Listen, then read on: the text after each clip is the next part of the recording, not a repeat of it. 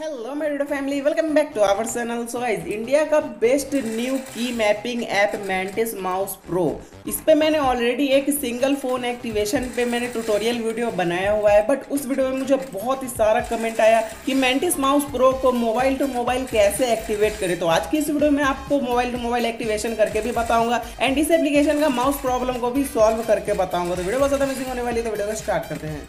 चलिए शुरू करते हैं। सबसे फ़र्स्ट आपका फ़ोन अगर एंड्रॉयड 11 है, तब इसमें आपको फ़ोन टू फ़ोन एक्टिवेशन करने का ऑप्शन नहीं आएगा।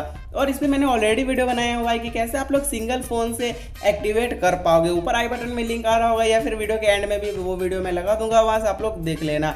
एंड अभी यहाँ पर आप लोग देख रहे हो कि मेरे पास है अभी दो एंड्रॉयड फ़ोन और ये दोनों एंड्रॉयड 8 है ओके आपको अगर एंड्रॉयड 10 तक हो, तब आप में ये डबल फ़ोन एक्टिवेशन काम कर जाएगा। आप लोग इजिली एक्टिवेट कर पाओगे।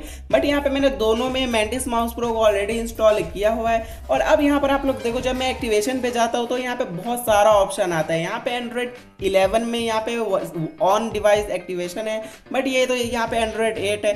तो यहाँ पे एंड्रॉयड टू एंड्रॉयड एक्टिवेशन करने का यहाँ पे ऑप्शन दिख रहा है। तो अब यहाँ पे हम लोग बात कर लेते हैं, इसको एक्टिवेट करने के लिए क्या क्या चीज़ों की ज़रूरत पड़ने वाली है। तो सबसे पहले यहाँ पे आपको एक ओटीजी केबल की ज़रूरत पड़ने वाली है एंड साथ में यहाँ पे एक यूएसबी केबल की, जो अपने मोबाइल चार्जर से इजिली निकाल सकते हो।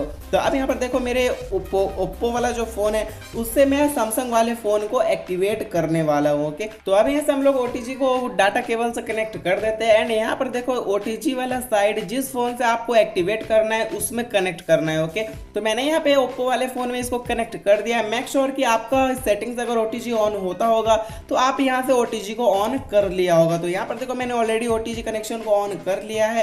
एंड अब यहाँ से हम लोग अपने फ़ोन में, जिस फ़ोन में आपको एक्टिवेट करना है लाइक मेरा जो सैमसंग वाला फ़ोन है, इसी में एक्टिवेट करना है। तो इसमें आप लोगों को डेवलपर ऑप्शन को इनेबल करना होगा। डेवलपर ऑप्शन इनेबल करने के लिए अबाउट फ़ोन में आपको बिल्ड नंबर पे आपको seven to eight time click करना होगा। एंड उसके बाद यहाँ पे डेवलपर ऑप्शन इनेबल हो जाएगा, उसमें जाके आपको सिंपल यूएसबी डिबगिंग को ऑन कर लेना होगा। और अगर आपका फ़ोन एमआई का है तो उसमें यूएसबी डिबगिंग सिक्योरिटी सेटिंग को भी ऑन कर लेना ओके और अब यहाँ पर देखो कि अपने फ़ोन में आपको फ़र्स्ट वाला ऑप्शन सेलेक्ट करना है एंड्रॉयड टू एंड्रॉयड वाला, जो यहाँ पे वेटिंग प्रोसेस आ रहा होगा, दिख रहा होगा ओके एंड अपने फ़ोन में आप लोगों को सबसे पहले कनेक्ट करने से पहले आपको यहाँ पे सेकंड वाला ऑप्शन चूज़ करना होगा। लाइक यहाँ पे सेकंड वाला आप लोगों को मेंटेस वर्डी का जो है टूल है, वो वाले को यहाँ पे सिलेक्ट करना होगा। उससे पहले मैं यहाँ से अपने फ़ोन को भी कनेक्ट कर लेता हूँ।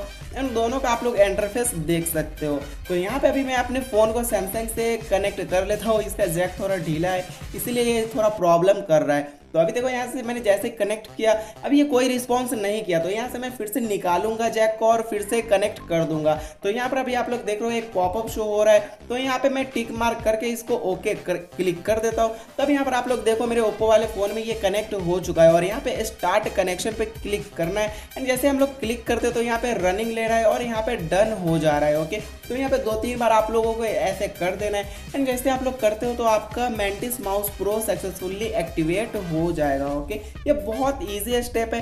बस आप लोग डबल फ़ोन से दोनों में मैंटेस माउस प्रो को इंस्टॉल कर लो और सारा स्टेप बाय स्टेप फॉलो कर लो ओके इसी तरीके से आप लोग भी एंड्रॉयड टेन में या फिर जो भी एंड्रॉयड वर्जन हो, उसमें एक्टिवेट कर सकते हो। अब यहाँ से हम लोग इसके मेन प्रॉब्लम के बारे में बात करते हैं। लाइक यहाँ पर अभी आप लोग देख रहे हो कि मेरा जो है एंड ई स्पोर्ट का गेमिंग माउस है तो ये इसमें प्रॉपर वर्क नहीं करता है। ये इसमें बहुत लैग करता है। इसीलिए मैं यहाँ पे जेब्रॉनिक का पावर वाला नॉर्मल माउस यूज़ कर रहा हूँ। एंड ये कैसे प्रॉब्लम करता है? तो वो मैं आपको गेम के अंदर जाने के बाद एक की मैपिंग करने के बाद, मैं आप लोगों को वो सब दिखाने वाला हूँ। ओके तो वीडियो लास्ट तक देखते रहना। तो यहाँ पे भी आप लोग देखो, इसमें मेन आता है आईडी बैन का और लॉग का। ओके तो यहाँ पे अभी सबसे पहले तो लॉग का बात बता देता हूँ कि यहाँ पे आप लोगों को ये auto automatic main account detect कर लेता है, क्योंकि ये जो एप्लीकेशन है, वो फ्लर्टिंग विंडोज़ पे वर्क करता है ओके यहाँ पे आपका डायरेक्ट फ्री फायर जब प्ले करोगे, तब आपका मेन अकाउंट ऑटोमेटिक डिटेक्ट कर देगा, और ये आईडी बैन इसमें बिल्कुल भी नहीं होने वाला ये हंड्रेड परसेंट सिक्योर एप्लीकेशन है। एंड अब यहाँ से हम लोग कर लेते हैं इसका कुछ की मैपिंग। एंड की मैपिंग करने के बाद यहाँ पे डायरेक्ट चलेंगे ट्रेनिंग ग्राउंड में। एंड इसके मैं बेस्ट की मैपिंग के बारे में भी बता देता हूँ, ओके? सबसे पहले तो मैं यहाँ पे इसका पूरा फुल की मैपिंग कर लेता हूँ। बस यहाँ पे की मैपिंग बहुत ईजी है और इस पर मैंने ऑलरेडी वीडियो बनाया हुआ है। ऊपर आई बटन में या फिर वीडियो के एंड में मैं वो वीडियो लगा दूँगा, वहाँ से आप लोग देख लेना, ओके? तो अब यहाँ से हम लोग इसके मेन प्रोसेस के बारे में बात करते हैं। तो इसका जो माउस का व्हील बटन है, वो भी इसमें काम करता है। लाइक यहाँ पे व्हील अप करते हो तब यहाँ पे आपको स्क्रॉल अप का एक बटन आ जाता है। तो इसको हम वेपन वन पे रख देते हैं एंड एक और की लेते हैं एंड इसको स्क्रॉल डाउन पे सिलेक्ट करते हैं एंड यहाँ पे इस बटन को वेपन थ्री पे रख देते हैं ओके एंड इसका भी टेस्टिंग बहुत ही इंपॉर्टेंट है। तो चलो चलते डायरेक्ट ट्रेनिंग ग्राउंड में।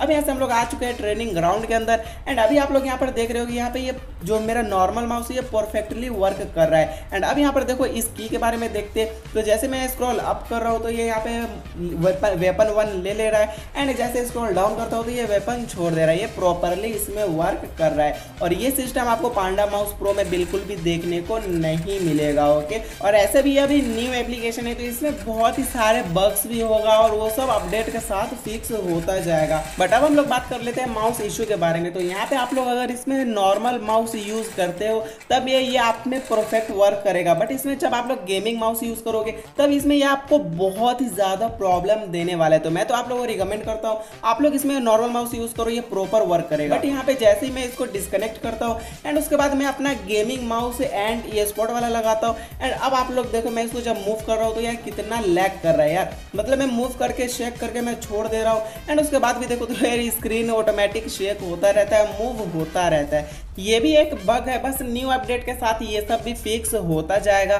तो बस यार, आज के वीडियो में बस इतना ही। उम्मीद करता हूँ कि आज का वीडियो आप लोगों को पसंद आया होगा और हेल्पफुल लगा होगा। वीडियो अच्छा लगा होगा तो वीडियो को लाइक ज़रूर कर देना और चैनल को भी सब्सक्राइब ज़रूर कर लेना। कोई भी वीडियो मिस ना करने के लिए और कोई भी प्रॉब्लम हो कमेंट करके ज़रूर बताना। और नेक्स्ट वीडियो किस टॉपिक पर चाहिए, वो भी कमेंट करके ज़रूर बता देना ओके तो बस यार, मिलते जल्द अगले वीडियो में। तब तक के लिए